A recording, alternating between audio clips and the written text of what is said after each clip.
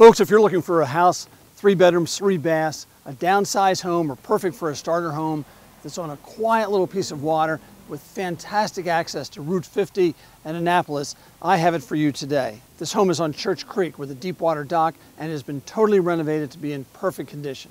Hi, I'm Charlie Buckley with Long & Foster. Now before I show you this great home, let me show you where it is on the map.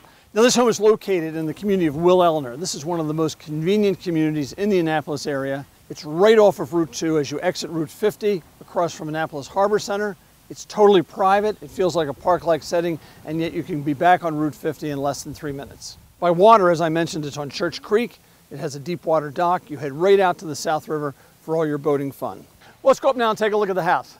Now, once on the deck, the view from the deck of the water and the gardens are stunning. Notice all the professionally landscaped backyard, beautiful trails down to the water, large deck, plenty of room here to entertain, have dinner, and sit and enjoy your water view. In terms of outdoor living, there's also a beautiful screen porch, lots of space here for furniture. You'll be able to enjoy this beautiful space 365 days a year. Now you enter the house into a beautiful great room, large seating area with a propane fireplace, hardwood floors, and great views out to the water. From there you move into the kitchen with the dark cherry cabinets, white countertops, black appliances, and more views out to the creek. That flows right around to a large dining area where there's going to be plenty of room for your family and friends to enjoy your water view and your hospitality.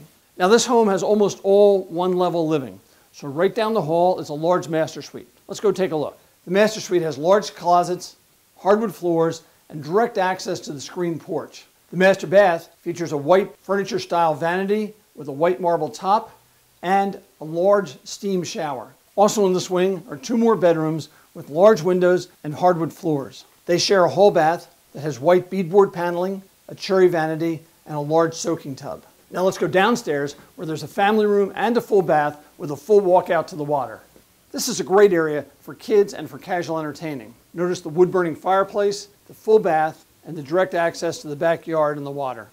Well, folks, if you're looking to downsize or if you want a perfect weekend spot that's really convenient in Annapolis, right on the water with a deep water dock, I'd love to show you this home. I'm Charlie Buckley with Long & Foster. Thanks for joining me for another Mr. Waterfront live video. Stay tuned. I'll catch you at the next house.